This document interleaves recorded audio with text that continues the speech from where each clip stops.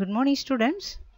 So far we have completed chapter 1 from unit 1 and now we are moving towards chapter 2 from unit 1. Okay. So before we look into this chapter 2 just we can do one review regarding this first chapter because second chapter is the continuation of first chapter. Fine. Okay. So in the first chapter we have discussed regarding this diversity in the living world, system of classification, taxonomic hierarchy, nomenclature and tools of taxonomy. Do you remember? Okay. So here and diversity in the living world we said regarding the various forms of animals which is found in this world and in system of classification we have discussed there is various systems framed by this various scientists for example three domains of classification five kingdom classification six kingdom classification seven kingdom classification and in the taxonomic hierarchy we discussed regarding this hierarchical order for classification such as kingdom phylum class order family genus species. Then nomenclature in the sense naming of these organisms. So assigning scientific name right? And tools of this taxonomy. So here we said certain tools which is helping for this taxonomical studies. Okay?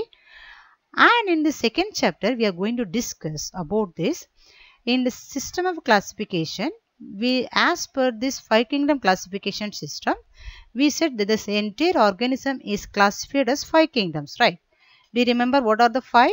Monera protista fungi plantae and animalia right?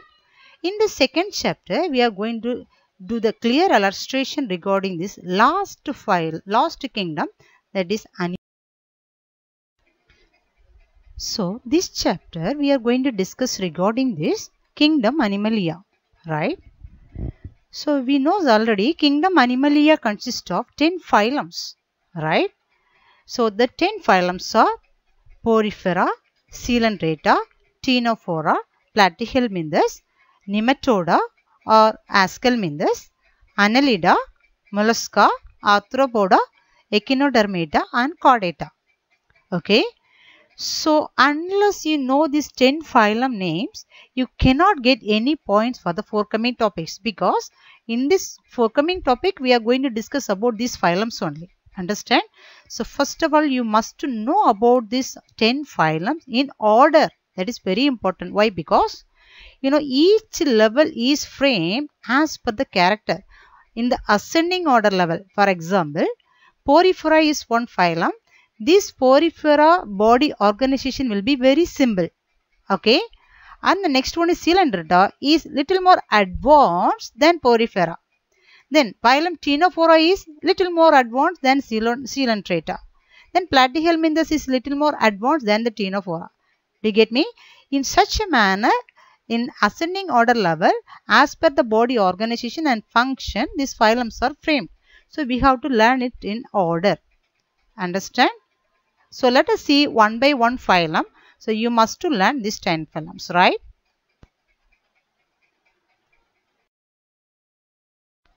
So listen, before we learn about the character of this each phylum, here they have included another one title called it is basis of classification, right? What do you mean this basis? Listen, in the last chapter we say scientists has classified the organism as various categories or kingdom, right? But in this chapter, we are going to learn kingdom Animalia has classified as 10 phylums and this 10 phylum character we are going to learn in this chapter, right? So, this basis of classification explains how these 10 phylums are classified, at which manner, at which basis it is classified surely they may have considered certain characters, right? One simple example we could say invertebrates and vertebrates. What is the difference between these two?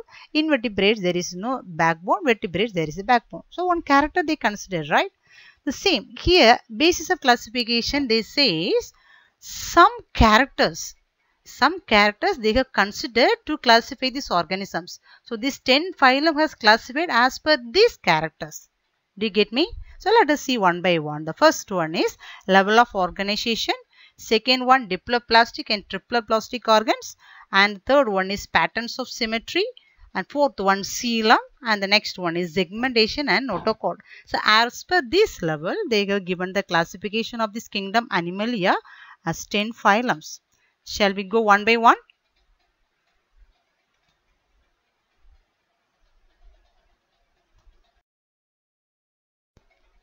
So level of organization means, listen, so now everyone knows, even from the lower grade onwards, we have learned. So living things are made up of cells. Is it fine? Cells. Of course, we know the protozoan, single cellular organism to multicellular organism, everything is made up of cells, right? And in as per the kingdom Animalia, kingdom Animalia consists of only multicellular organisms. Okay. Then multicellular means what do you mean? There is many cells are there. How these cells are organized or arranged as per this basis also they are classifying these organisms. Fine. So how they are the how the cells are arranged, right? So let us see the classification. The first one is cellular level of organization. Second one tissue level of organization. Third one organ level of organization. And fourth one organ system level of organization. So here we are going to learn how the cells are aggregated or arranged. Is it fine? Okay, let us see the first one. Cellular level of organization. Okay, here this is the basic level of organization. As I said already, we have we have arranged this 10 phylums in one ascending order level, which means the first one is Porifera. Its body arrangement is very simple. So, phylum to phylum, this system may become complex. Do you get me? So that's why listen, the first phylum is Porifera. So the Porifera consists of cellular level of organization which means it is one of the multicellular organism only but it each cell is doing different function. One cell is not depending another one. So functionally each cell is isolated from each other. Do you get me? So it is multicellular organisms, it is made up of multi cells but each cell is unique. It is not depending another one cell for its function. That is called cellular level of organization. Example we can say phylum Porifera. It's the first one. Example, one example we could say it is sponges. Okay. Then look at the nearby picture. This picture explains this wall of this Porifera. Okay. So the wall consists of two layers. The outermost layer, the brown color is pinacocyte, right? and this is giving support or shape to this uh, body wall as well as the innermost cell the yellow color is denoted as choanocytes. So this is a flagellated cell. Can you notice the flagella is arising from there? It is a flagellated cells and this is helpful for the movement of this water inside these sponges. So that's why they said it is helpful for the digestion as well as for respiration. Understand? So that's all about cellular level of organization. Next one is tissue level of organization. So hope you know what is tissue, right? So what do you mean tissue? So the group of cells which is doing the similar function is called tissue. the group of cells which is doing similar function is called tissue. So here the group these organisms are made up of group of cells which means tissues which is doing the same function is called tissue level of organization. So, do you remember the phylum? First one is Porifera and the second one is Coelenterata. So, here this Coelenterata consists of tissue level of organization. Do you notice this system is becoming little more advanced? Do you understand? Okay, so this is called tissue level of organization. It is, is present in this phylum Coelenterata. One example we can say Hydra. Okay, next one. Okay, the next one is organ level of organization, right? So here, you know already group of tissue is making organ, which is doing the one particular function, right? So here, these kind of these organisms consist of some organs. So each organ is doing in its role, in its own function, right? Okay. So here and this kind of this organization first appeared in this phylum Platyhelminthes. One of the example we could say it is a flatworm. So this consists of certain organs. This organ is doing in its function, right? So this kind of this organization is called organ level of organization, right? So the next one is organ system level of organization, right? So hope you knows about the various organ systems, right? You, that you may learn in the slower classes. That is maybe digestive system, respiratory system, circulatory system, excretory system and so on, right? So many systems you know, right? So what do you mean system? One system may consist of group of organs which is doing the similar function, right? Is called organ system. So here I displayed one figure that is that explains the digestive system of human. So do you know what are the organs comes under this digestive system? Of course, mouth, salivary glands, esophagus, stomach, pancreas, liver, large intestine, small intestine, rectum, anus. These are all the organs are arranged to form an organ system. So all those together it is doing one function it is called digestion. Okay. So this organization is called organ system level of organization. Is it clear? So this we could see from nematodes to chordates. Is it clear? Have you noticed? The first one cellular level of organization is present in the first phylum Porifera. Tissue level of organization is present in the Coelenterata. Then organ level of organization we could see in the platyhelminthes. Then organ system level of organization is coming from the forthcoming one that is nematodes to chordates. Is it clear? Okay. Then this organ system level of organization, organization has some other character also. For example, so as we said, organ system of organization consists of nematodes to chordates, which means from lower level to higher level organ organisms are there under this, right? So that means some may consist of simple system and some may consist of complex system. Do you get me? Maybe for example, nematodes may consist of simple organ system or chordate may consist of complex organ system also will be there. So that they have explained here. Shall we see? One of the character they said incomplete digestive system. Incomplete digestive system means here they said in case of platyhelminthes, platyhelminthes also organ system level also will be there, right? So platyhelminthes, one of the example they said flatworm. The digestive system consists of only a single pore that is called that will perform as a mouth as well as the anus. Can you see in this picture? So one single hole is there. The same hole will perform as, as mouth as well as the anus. So it is doing this two function. So this simple level of organ organization is called it is incomplete digestive system. Is it clear? This we could see in this lower level of these organisms. But in the higher level of organization, what do you mean? Complete digestive system is there in this higher level of organizations. For example, one of this example they said annelids.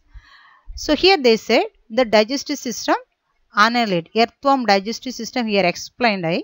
Then here listen, it starts from the mouth. Can you observe this mouth?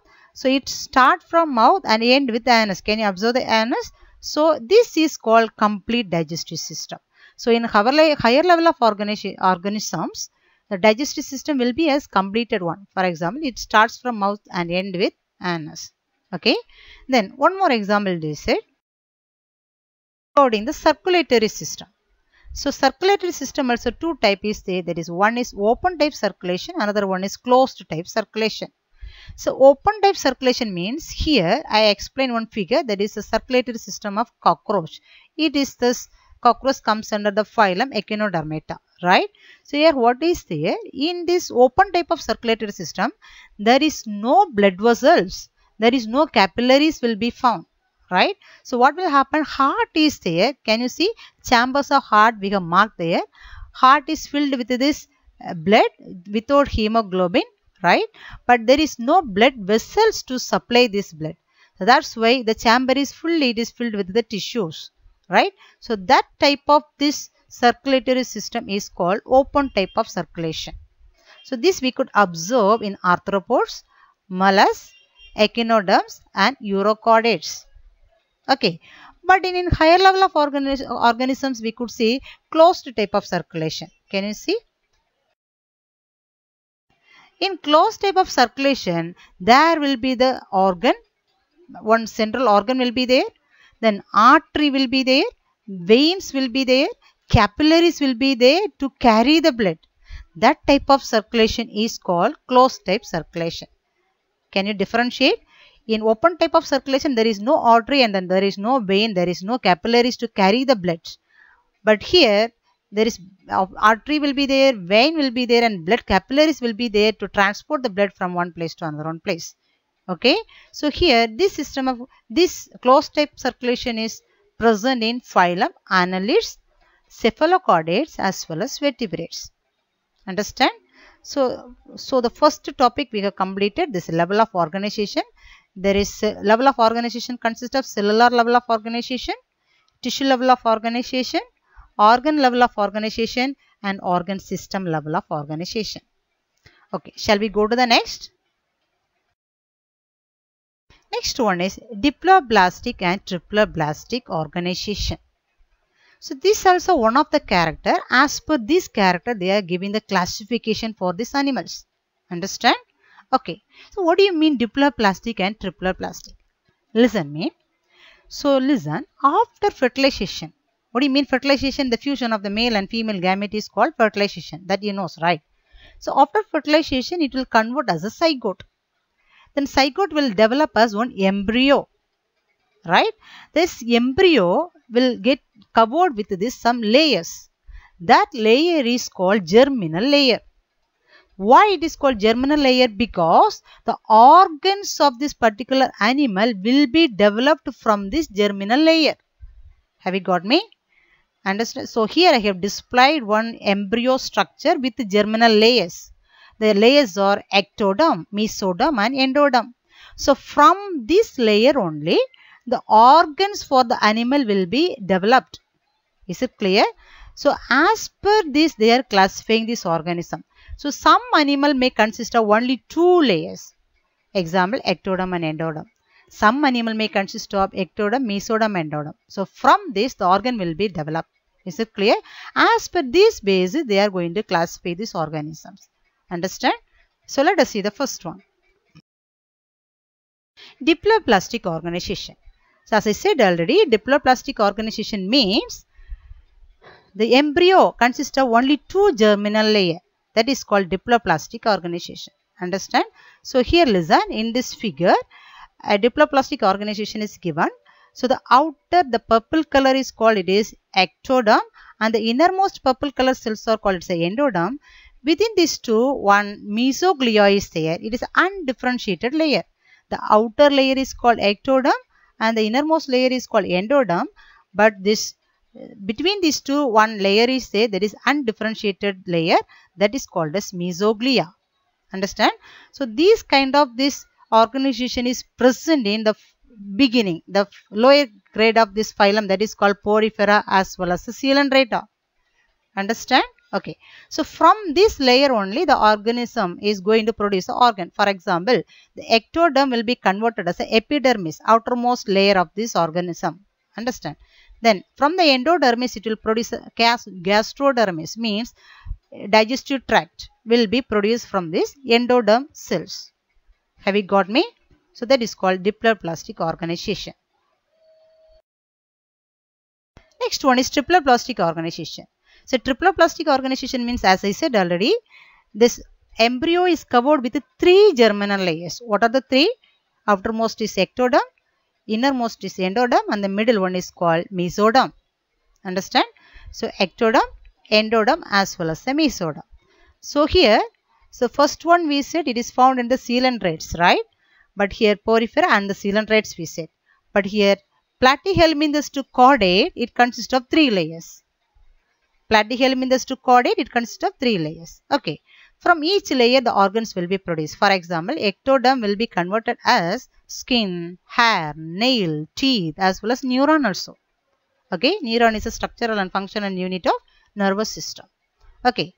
And endoderm, from the endoderm, digestive system, gut, lungs, liver will be produced. Right. And from the mesoderm, muscle, bone, heart will be developed. Is it clear? So as per this also they are classifying this organism that is called diploblastic and triploblastic organization. Understand? Shall we go to the next? And the next basis is patterns of symmetry. Patterns of symmetry. What do you mean symmetry?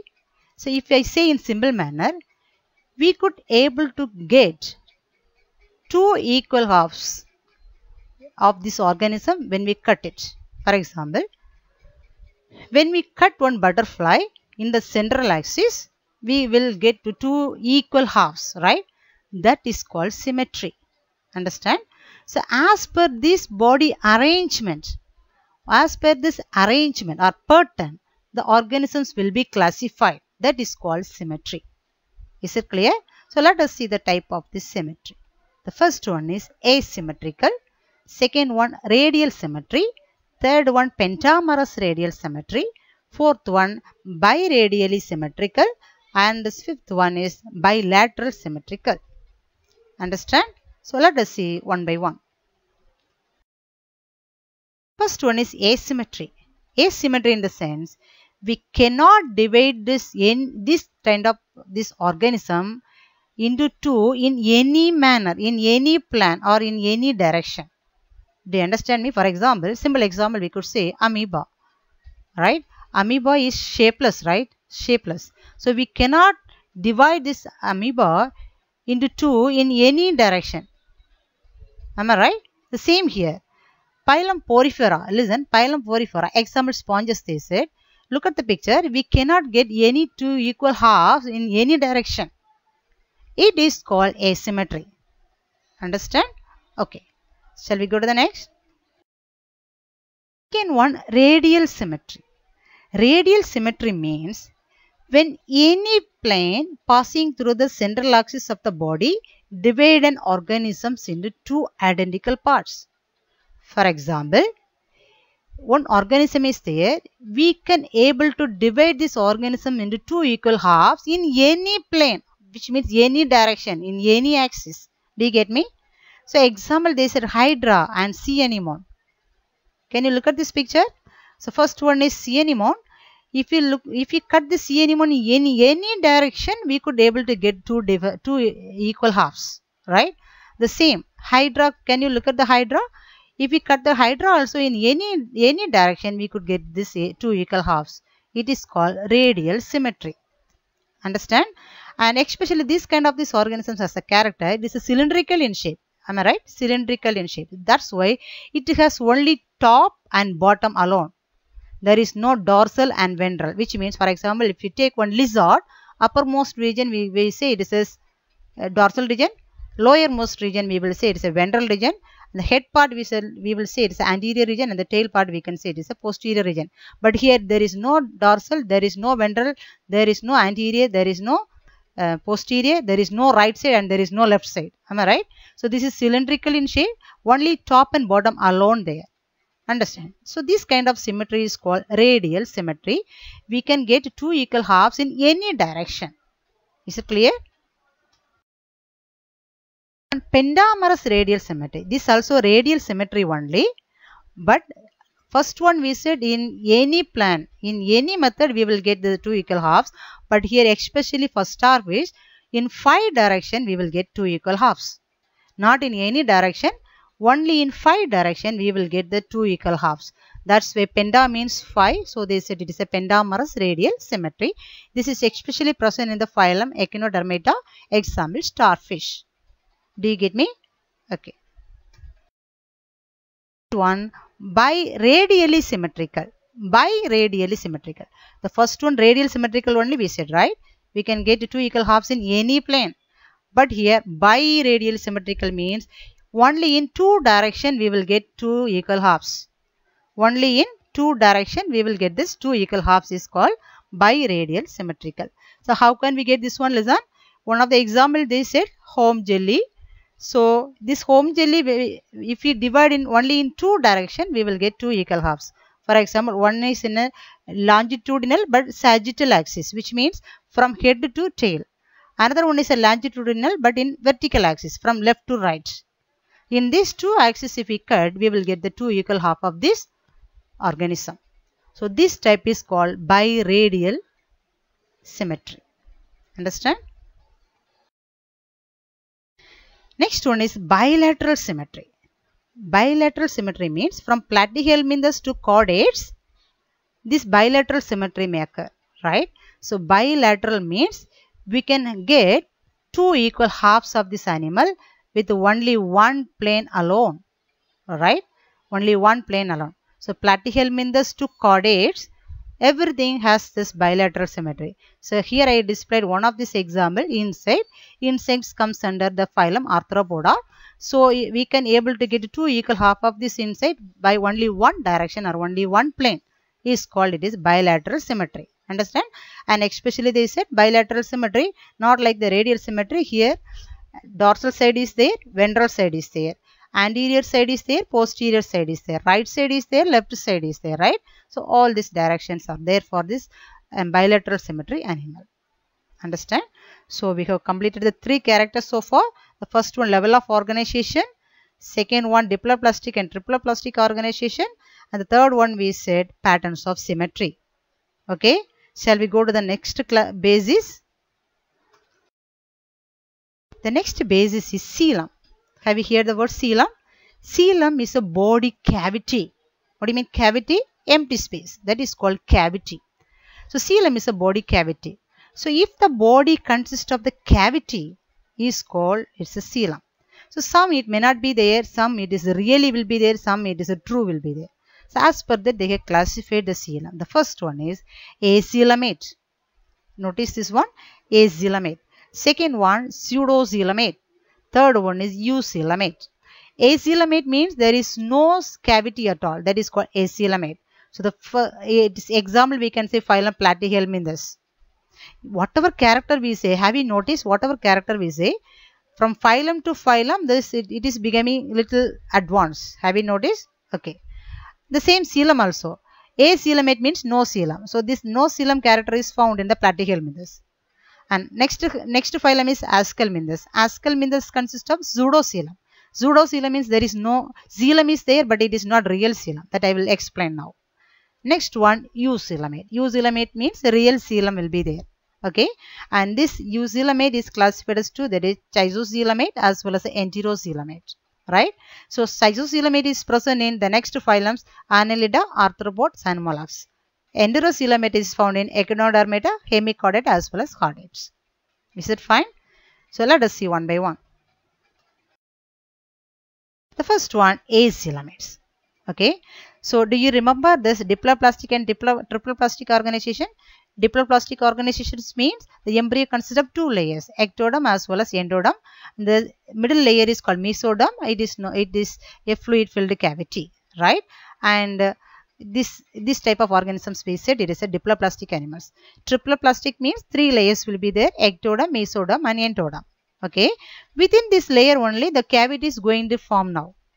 That's what we said it is a coelom. Understand? Now let us see acoelomate means can you observe this diagram? So there is three layer is there. The outermost layer is called ectoderm and the center layer is called mesoderm and the innermost layer is called endoderm right? So there is no coelom is found in these three layers. That's why they said it is a coelomate. Understand? Okay, next one. Pseudocoelomate.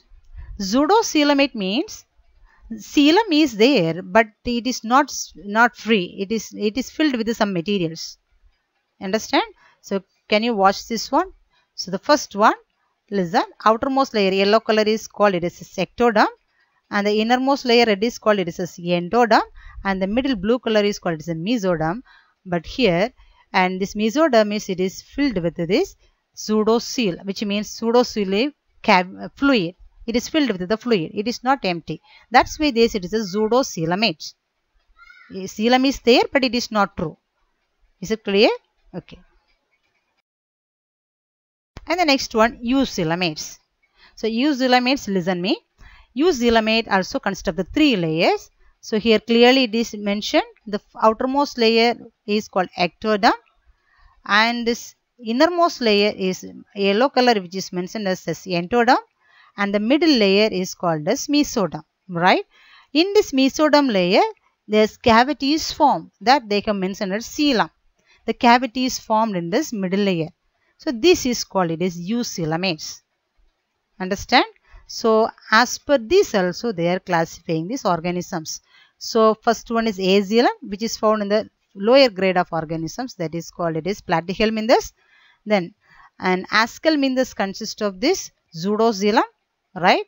Then the rest is consist of this eucoelom. Is it clear? Okay. Then this eucoelom we are classifying as two we said. One is a schizocoelomate as well as this enterocoelomate. Schizocoelomate means we said already the coelom is formed from the mesoderm layer. Am I right? Okay. So here there is said the same.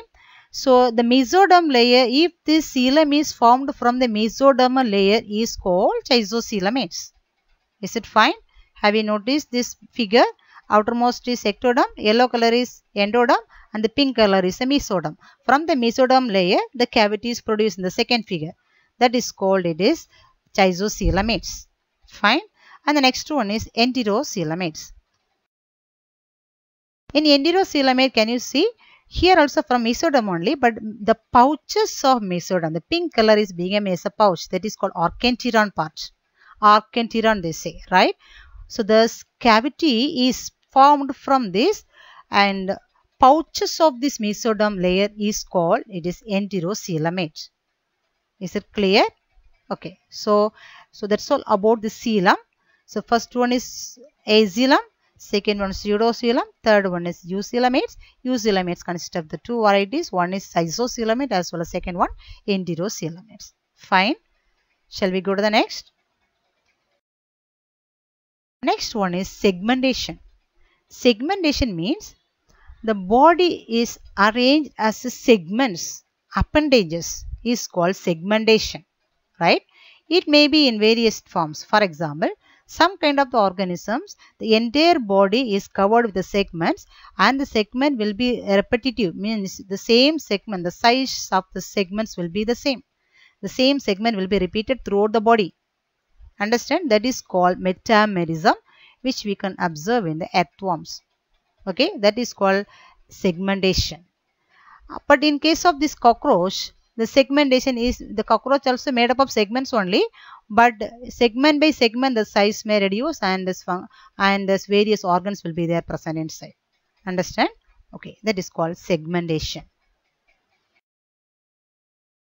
next one is notochord notochord means during the embryonic stage do you remember the word embryo after fertilization zygote may form zygote becomes embryo embryo consists of embryonic layer we said germinal layers so during embryo, when the embryo grows, the embryo produces one rod-like structure that is called chordates. I'm sorry, that is called notochord, right? This notochord, as per the presence or absence of this notochord, the organisms are classified as two. That is, one is chordates, second one is non-chordates. Chordates means the organism which possesses this notochord is called chordates and the organisms which do not have notochord is called non-chordates. For example, chordate example we can say cephalochordates, urochordates as well as pisces to mammals. So cephalochordates and urochordates are the subclass subphylums of these chordates, right? And pisces, amphibians, reptiles, aves and mammals, these are the classes of vertebrates. So pisces to mammal also they said it consists of this notochord. Okay and the next one is non-chordates. Non-chordates means of course there is no notochord will be there. So from phylum Porifera to Hemichordata, Porifera, Coelenterata, Platyhelminthes, Aschelminthes, Annelida, Arthropoda, Mollusca, Echinodermata and Hemichordata. Till that there is no notochord. Understand? Okay. So that's all about this. The first topic we have completed as basis of classification. So as per these characters, basic or as per the basic of these character, whatever we have discussed now, the animals are going to be classified, right? Okay. So the next class we will discuss about this uh, character of this each phylum. Understand how they have uh, noticed the character of this each phylum as per this character. Understand? Okay. Now let us see some assignments. So, few three mark questions I have given here. It is very easy to complete and you cover up these portions uh, within this next class. Okay. So, the first question is differentiate incomplete and complete digestive system. Next one, differentiate open and closed circulatory system. Then differentiate diploblastic and triploblastic organization. Then differentiate biradial and bilateral symmetry. Next one, differentiate isocoelom as well as enterocoelom. Is it clear? These are all these differentiations. It is clearly mentioned in the textbook that you can learn. Okay. Then one five mark question I included along with that. What that is, how are organisms are classified based on coelom. Okay. This hope these are all very simple questions only and cover up these portions before the next class. Hope you will cover and we can meet in this next class. Thank you.